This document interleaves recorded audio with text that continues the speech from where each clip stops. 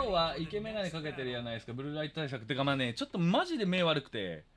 レオ破壊神を夢見てこのレオのコツを教えてください。レオのコツか。右アッパーをいかに当てるかってキャラなんだよ。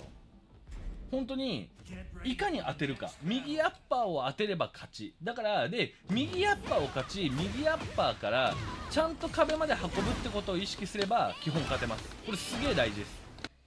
そうとにかく右アッパーをレオはいかに当てるかだけ考えながら鉄拳やるだけで OK です。本当にそこだけです。初心者向けなキャラじゃないですか。だそうです。リディアはね難しいキャラだと思いますよ。来た。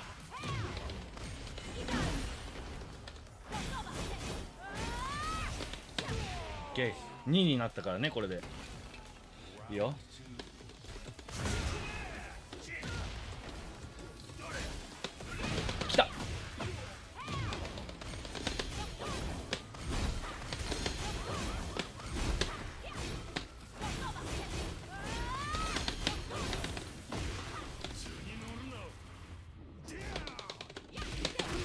がリディア。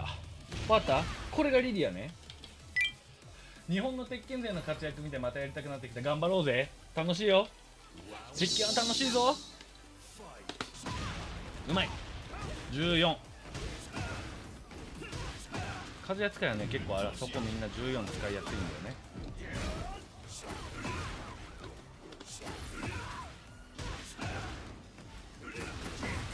なんやこのゲーム。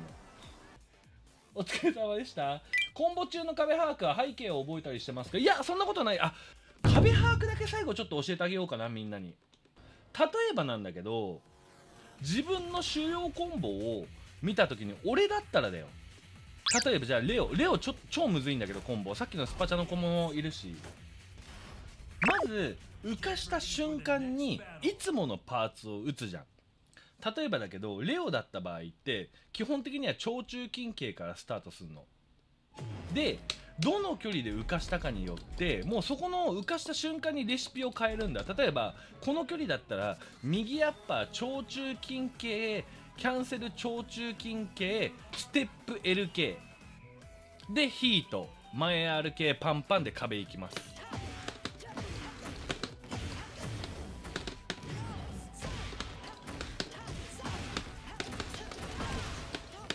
っていう感じでレシピを見極めド密着だった場合はこっからこれこれこれヒート何でもいいんですレシピなんて。こうパンパンパンパンパンパンパンパン。っていう感じで浮かした瞬間に例えばこういうとこああちょっと距離遠いなって時は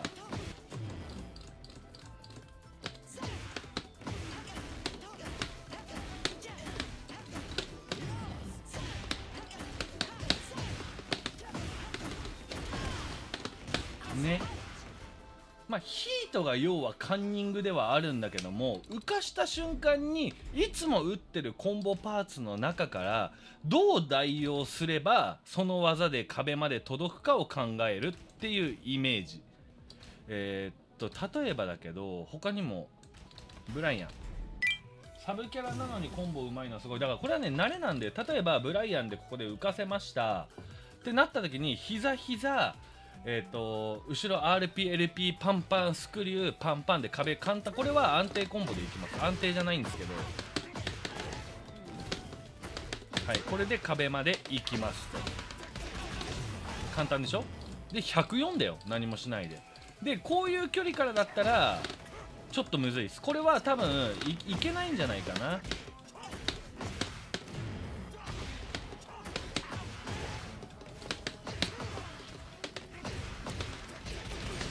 はい開幕ここで垂直フラヒが当たりましたと仮定してはいパンパン。まあ何でもいいですレシピなんて。はい壁まで行きます。そうここら辺を覚えておくといいの。壁までの距離把握は経験知識。まあ毎試合毎試合意識しながらやるかな。俺はコンボを打った時どこまで運んでどんぐらいまで行けば壁に当たるかなっていうのを常に頭で考える。例えばこれ当たった後これは多分無理です。これは多分無理。いやいけるわ。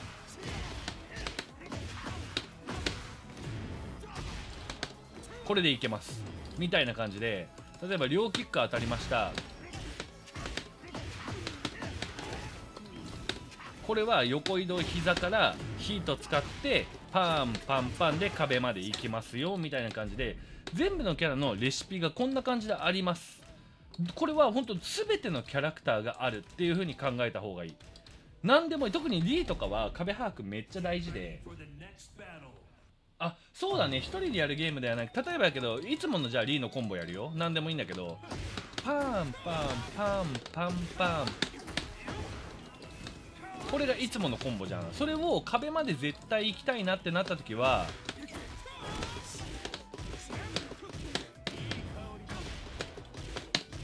こういう風にレシピを変えるのよ。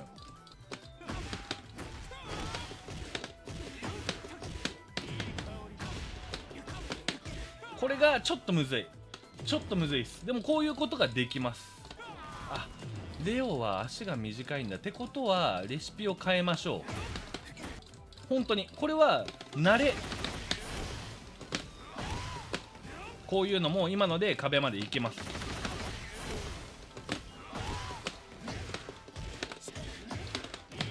でパンパンパン。ね。このレシピさえ覚えとくとどんなキャラをやったとしてもめちゃめちゃ大事になってくる。っていうかまあダメージが取れるようになるよね。簡単な話。って感じ。いろんなステージいろんな場所でこういう風に覚えるっていうのも大事ですよ。例えばステージを変えてここじゃなくてまず大事なのはいつもやってるレシピと壁まで運ぶレシピっていうのは基本的には別物です。はい。基本的にはいつもやってる技と壁まで運ぶ技は別物って考えといて。OK その上で例えばだけど今からポールで右アッパーを当てた後のコンボって多分いつものレシピで壁まで行くの。いくよ。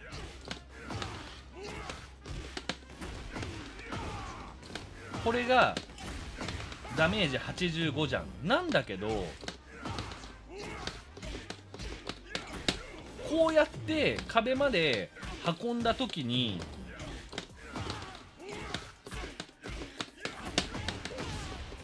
こうやって運んだ方がダメージは圧倒的に高いのよ。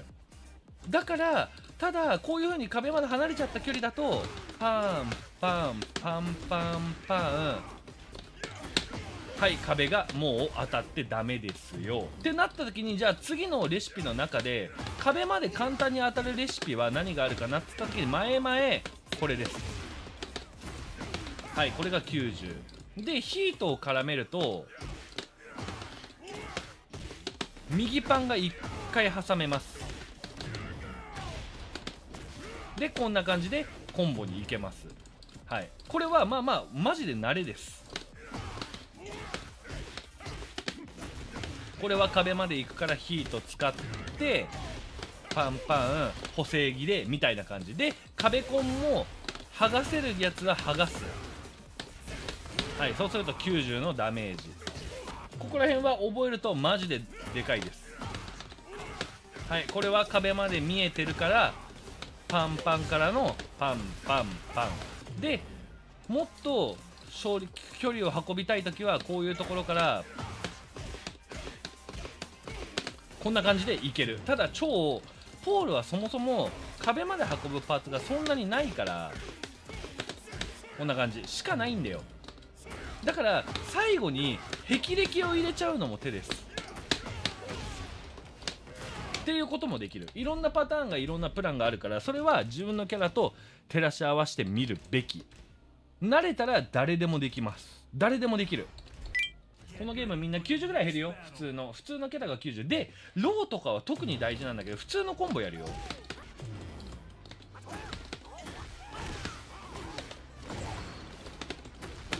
はい68じゃん。なんだけどこいつって壁までもし到達したらめちゃめちゃ減るの。これじゃあ行かないんだよ。行かないのよ。じゃあ何で行くのっつったらジャブジャブステップインパパンパン。そうするとね。これがめっちゃ大事でローは壁コンがダメージが高いからでこれでヒートを使ってパンパンとかで壁まで運ぶとかまあいろんなレシピでこういう距離からだったら RKLK パパンパンで入る。こういう距離からだったら入るかなこれ。入んないか。これだな。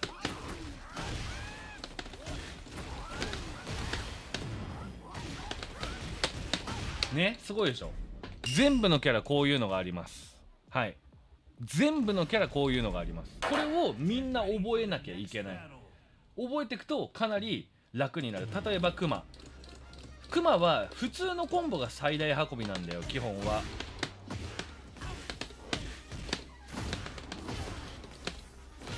でまあこういうのが普通の締めなんだけどここでヒートを絡ませると1回分距離を稼げんのよ。まず前ダッシュめっちゃして前ダッシュこうやって。稼げんの？普段の距離よりも。普通のコンボだったら絶対にいかないんで多分最大値が普通のコンボをやって運べるのが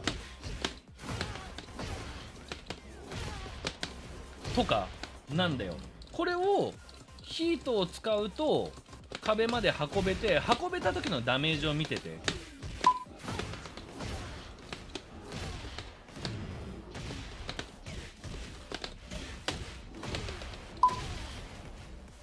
こういうこと。こんぐらい大事なの。こんぐらい大事。あとは例えばだけどよくあるコンボが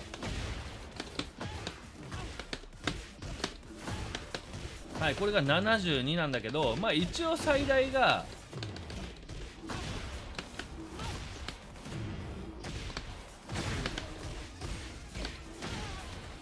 これ66プラス、まあ、21かな確か。だから80ぐらいは減るしどんなところからでもクマはコンボに基本的には例えばだけど下段カウンターからもこれじゃあ壁までいかないじゃん。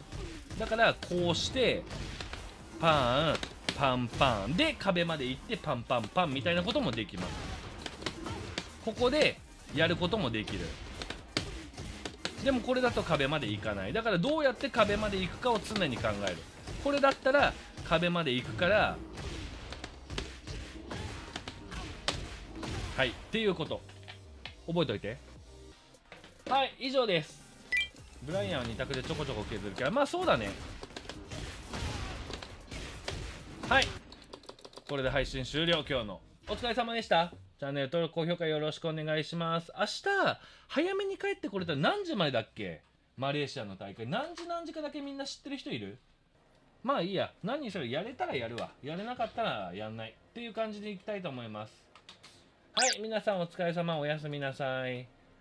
またにーまたまたにー